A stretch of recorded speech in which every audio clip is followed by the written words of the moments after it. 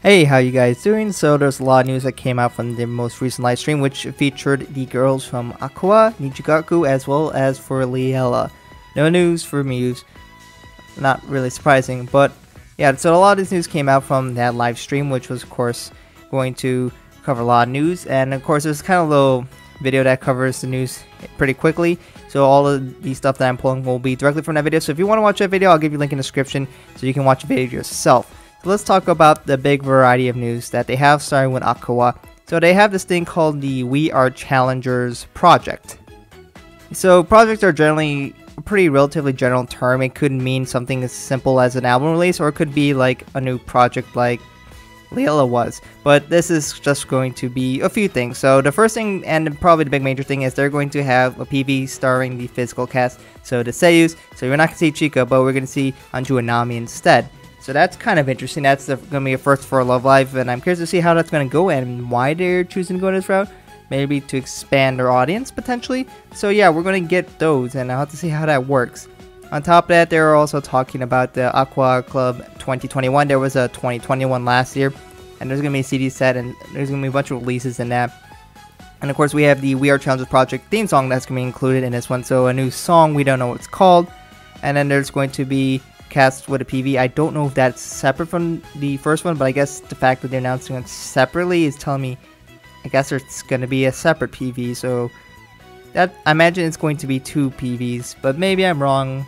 If you know for sure, let me know in the comments below. But that's more or less what we're going to get from the We Are Challengers project. Beyond that, if you are someone who looked at the Love Live Days magazines, which I do post once in a while, this image might be semi-familiar. What is this? So there's this thing called Genjutsu no Yohane, which Genjutsu I think means like reality or something like that. And we all, we saw these kind of images with Yohane, and they had this thing called Sunshine in the Mirror, and there's gonna be some project expansion on this. So I don't know exactly what is entirely entailed with this, or if anything big is gonna come of it. But the fact that they have this might mean something. I don't know what it is yet, so I'll update you once I know. But I guess look forward into future Love Live Day magazines and see what this exactly is. Is this a new game? Is this a collaboration? I don't know. Maybe it's just another albums or songs or something like that where we may get something like another Deep Resonance or something.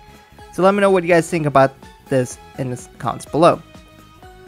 Moving on to Nijigaku news, this one is just saying that they're going to be re-airing the Nijigaku anime, I guess on NHK, or I think that's a channel, on April 11th.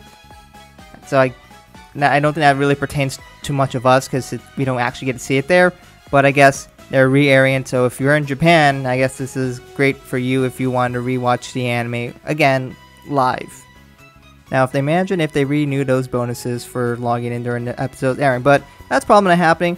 And of course, there's this thing. This is for the Shuffle Live that you guys are wondering. They're going to be raffling off some tickets to watch for free for the Shuffle Live, which of course is paid. I think they said about 300 process is going to be covered by Love Live Wikia, so this is more or less the process on how you get the Shuffle Festival. So potentially you might get it if you just participate and submit an application, and you might get to watch it for free, so that's going to be pretty cool. Uh, the live stream is going to be on March 20th and 21st in, I guess, Japan, so a little before that for us, so probably 19th and 20th, so stay tuned for that. There is also another raffle where they're talking about the road to next Tokimeki stories, which if you get uh, the Blu-ray 5, 6, or 7, then you are able to get into the raffle to participate in fan meetings. So if you want to meet th with the Seiyus physically, I guess as long as COVID restrictions are met and all that. So if you guys are interested in that, well, you have to get this and enter in raffle, and potentially you might be able to meet with them.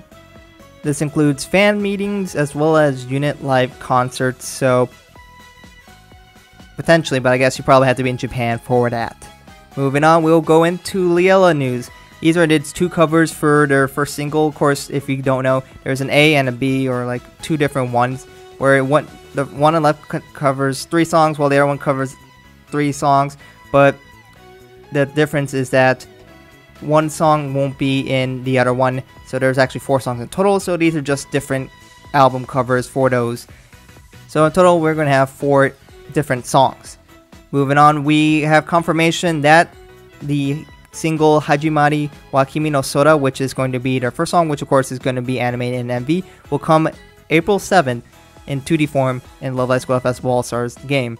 No mention about 3D. And the anime for Love Live Superstar it will be released in 2021, the month being 7, so July. That's when we'll be able to see the anime, and I am really excited. I expected it to be coming out in 2021, and potentially following that, we might be able to see Nijigaku Season 2. But this is going to be big as we're going to get the start of Liella.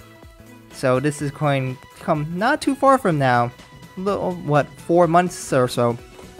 And if you're wondering, are these songs going to be coming to Squall Festival? The answer is yes, the dates are to the right. You would get Hajimari wa Kimi no on March 1st, and that will be available for a few days, and you'll get the rest of the songs for a duration. So if you want to preview those songs or play those songs in the game, you are able to and Love Live Squall Festival.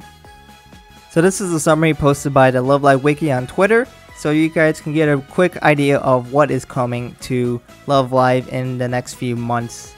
So let me know what you guys think about this in the comments below. What do you speculate is going to be happening with things like the Yohane thing? What do you think? And how excited are you for Liella, especially the anime is coming soon? Let me know what you guys think about all of this in the comments below. Thank you guys for watching, and I hope to catch you guys in another video soon.